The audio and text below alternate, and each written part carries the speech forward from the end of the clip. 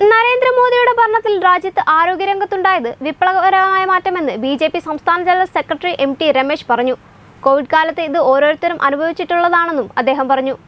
നരേന്ദ്രമോദിയുടെ ജന്മദിനത്തോടനുബന്ധിച്ച് ഓമശ്ശേരി കാട്ടുമുണ്ടയിൽ സംഘടിപ്പിച്ച mega medical camp ഉദ്ഘാടനം ചെയ്ത് സംസാരിക്കുകയായിരുന്നു അദ്ദേഹം. നരേന്ദ്രമോദി ഭരണത്തിൽ രാജ്യത്ത് ആരോഗ്യരംഗത്തുണ്ടായ മുന്നേറ്റം മാതൃകാപരമാണെന്ന് ബി സംസ്ഥാന general secretary M T Ramesh പറഞ്ഞു.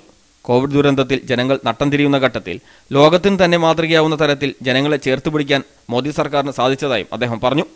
നരേന്ദ്രമോദിയുടെ ജന്മദിനത്തോടനുബന്ധിച്ച് സേവാ പാക്ഷികത്തിന്റെ ഭാഗമായി താമരശ്ശേരി മാരാർജി സേവാ സമിതിയും Manassery K M C T medical കോളേജും സംയുക്തമായി ഓമശ്ശേരി പഞ്ചായത്തിലെ കാട്ടുമുണ്ടയിൽ സംഘടിപ്പിച്ച മെഗാ മെഡിക്കൽ ക്യാമ്പ് ഉദ്ഘാടനം ചെയ്ത് സംസാരിക്കുകയായിരുന്നു അദ്ദേഹം. എഴുപത് ലോകരാഷ്ട്രങ്ങൾക്ക് കോവിഡ് വാക്സിൻ നൽകാനും രാജ്യത്തെ ജനങ്ങളുടെ സുരക്ഷ ഉറപ്പുവരുത്താനും കേന്ദ്ര സർക്കാരിന് സാധിച്ചതായും എം ടി രമേശ് കൂട്ടിച്ചേർത്തു.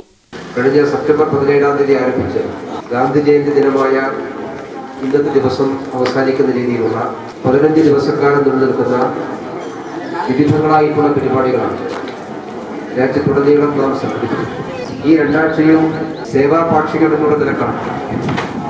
നാം ഈ പരിപാടികളെല്ലാം ആസൂത്രണം ചെയ്തിട്ടുള്ളത് സാധാരണ ജന്മദിനാഘോഷത്തിന് പകരം ഈ കാലയളവ് മുഴുവൻ സമൂഹത്തിലെ ഏറ്റവും സാധാരണക്കാരായ ദുർബലരായിട്ടുള്ള ജനവിഭാഗങ്ങൾക്ക് പ്രയോജനപ്പെടുന്ന രീതിയിൽ വിവിധങ്ങളായിട്ടുള്ള സേവന പ്രവർത്തനങ്ങൾ നടത്തണം എന്നുള്ളതാണ് നമ്മൾ അഖിലേന്ത്യാ അടിസ്ഥാനത്തിൽ തീരുമാനിക്കുകയും പ്രാവർത്തികമാക്കുകയും ചെയ്തിട്ടുണ്ട്.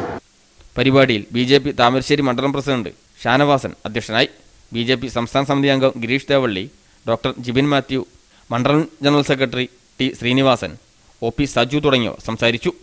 V P Rajeevan Valsan Modath Sreevalli Ganesan Devadas Koodathai P C Pramod K C Ramachandran Jose Kappattumala തുടങ്ങിയവർ നേതൃത്വം നൽകി. സി പ്രാദേശിക വാർത്ത ഓമശ്ശേരി.